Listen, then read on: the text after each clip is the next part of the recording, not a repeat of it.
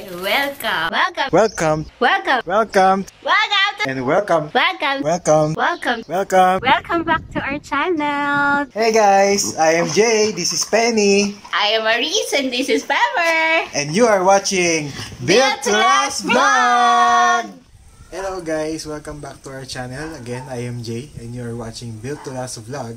Kung hindi pa kayo nakasubscribe dito sa aming channel, please do so. And click nyo na rin yung share button para ma-share nyo sa mga friends nyo. Ah, magte-test po tayo ng product. Ah, gusto ko lang kasing ah, matry kung mare-restore ko pa yung headlight ng aming sasakyan. Medyo madilaw na kasi. Ma- so, ah, medyo mahal naman kasi kung papalitan na natin agad yung head unit. Yung mismong headlight unit. Ah, so, ito try ko muna kung magagawan pa ng paraan. So, this one guys is ah, nakita ko lang din sa Facebook to. So, ang tatak niya, ang brand niya is Gentleman. Ayan.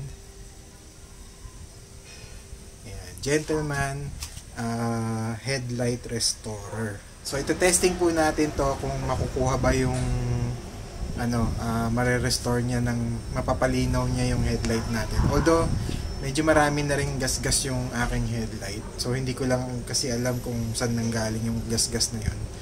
But, uh,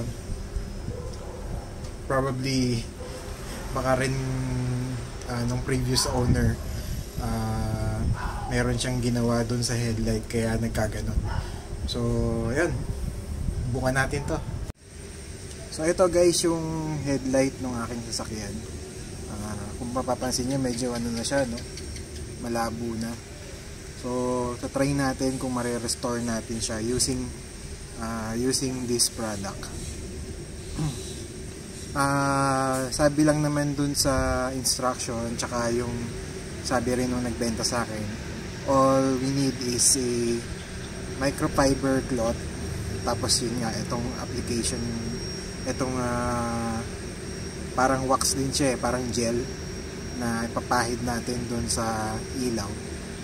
Tapos ah, after natin i-apply iwa-wipe lang din natin ng clean cloth. So yun. Subukan natin. So pala siya. So ito po yung laman niya. Para lang siyang ano parang cream.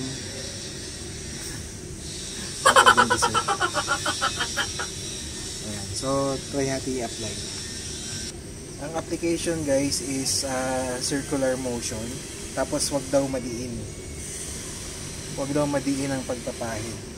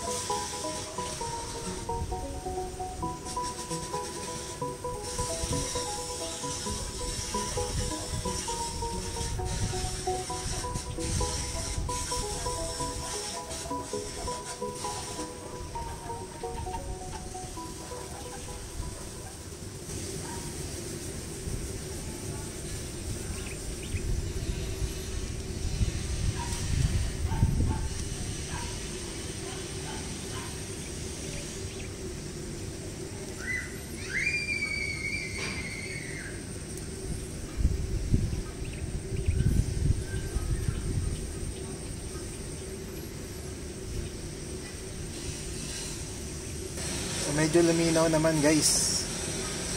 Ah, sabi lang sa akin, ah, pag ano daw, ulit-ulitin lang daw yung application. Ah, pero yun nga, since kasi medyo may gas-gas na rin tong aking headlights. So, hindi na rin siya ganun ka linaw.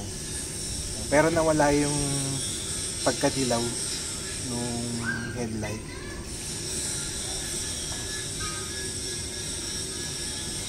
Applyan pa natin.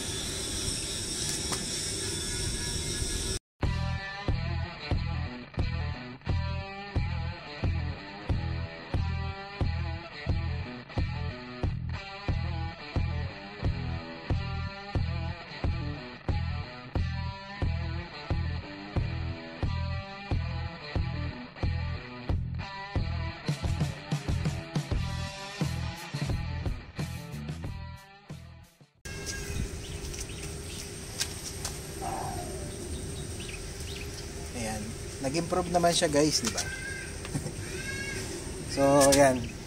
Medyo nag-improve naman siya. Nga lang, hindi na kakatulad nung pag-brand new, di ba? So, ayan. At least medyo luminaw ng konti. Papakita ko sa inyo guys yung sa kabila.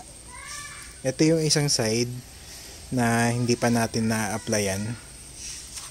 Yan. Pero ito kasi medyo sinampulan niya na to kanina. So, ayan. So, medyo malabo na siya, di ba? Ito yung pinahiran natin. So, ayan. Yung in-applyan natin. Kuminis na siya, di ba? Ayan. But this one, ayan. Madilaw pa siya. So, applyan din natin to guys.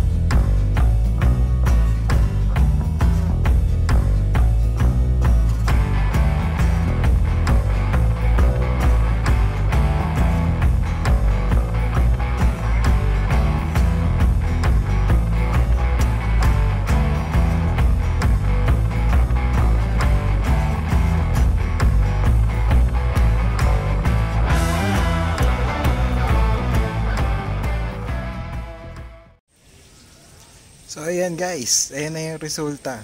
Um, hindi siya uh, 100% restored but for me uh, nagawa niya naman yung gusto niya, gusto kong ma-achieve. At least natanggal yung pagkadilaw ng aking headlight.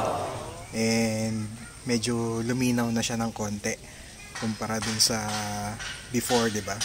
So probably kung medyo bago pa yung mga sasakyan nyo so siguro kaya pang i-restore ng maganda yung inyong mga headlights. So pero para sa atin syempre ano lang naman to second hand lang yung aming sasakyan. Kaya medyo matagal na rin tong sasakyan na to.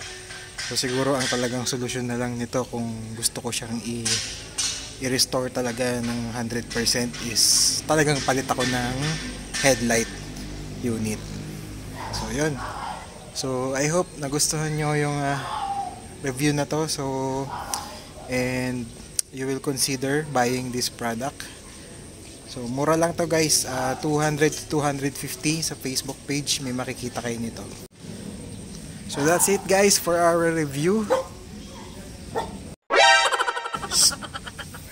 That's it guys for our review. Again, this is the uh, the product is uh, Gentleman, yung kanyang tatak and brand. Uh, headlight restorer. Yan. So, subukan niyo na rin guys kung kayo po ay ay may planong magpa-restore ng inyong headlight. Try niyo muna to kasi baka baka naman kahit kayo na lang gumawa sa bahay, magawa niyo i-restore yung inyong headlight Uh, kasi sa mga car wash ngayon, usually mga 800, 1,000, yun yung mga binabayaran sa kanila para ma-restore yung inyong headlight. Eh kung mga bago pa naman yung inyong sasakyan, so no need nang ipa-restore ng ganon sa kanila, di ba? So baka makuha na sa konting punas lang. So yun. Again, I am Jay. Thank you for watching Build to Last Vlog. Ciao!